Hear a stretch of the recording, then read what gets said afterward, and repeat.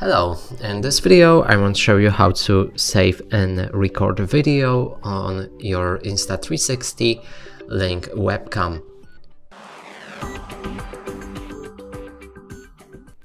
And to do this, you'll need to get Insta360 Link controller app. I shown you previously on how to download it. Now, uh, when you connect your camera, you'll be able to see record right here in the bottom right. Click on it and you'll begin uh, recording. Now you can move around with your camera and click again right here to stop the recording and save it. You will see the path right here where the file was saved. And that's it for this video, hope you like it, please consider subscribing to our channel, leave a like and a comment below.